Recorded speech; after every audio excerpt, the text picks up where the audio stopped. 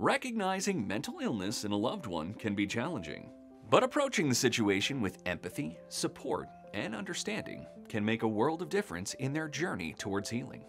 And we've got the steps to help you navigate this sensitive situation with another Wellness 101.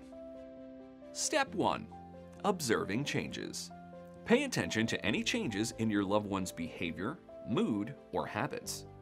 Are they withdrawing from activities they once enjoyed? Have they been expressing feelings of hopelessness or irritability?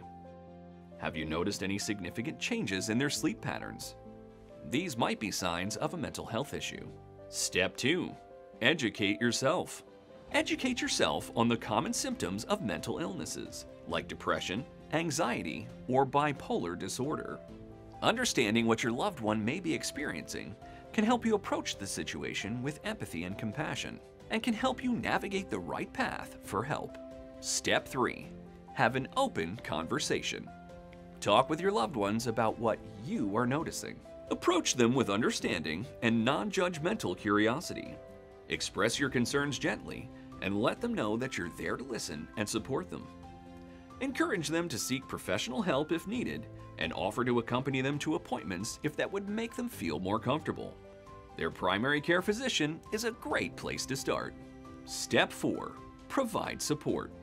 Offer your support in practical ways, such as helping them find a therapist or psychiatrist, assisting them with daily tasks, or simply being a compassionate listener. Let them know that they're not alone and that you're there for them every step of the way. Step 5 Encourage self care. Lastly, encourage your loved ones to prioritize self care.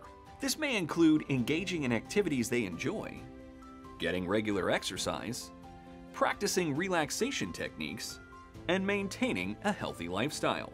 Remind them that self care is not selfish, but essential for their well being. Folks, recognizing mental illness in a loved one is certainly not easy. But by being observant, informed, and supportive, you can help them get through the difficult times ahead. Remember, your love and understanding can make a world of difference in their recovery.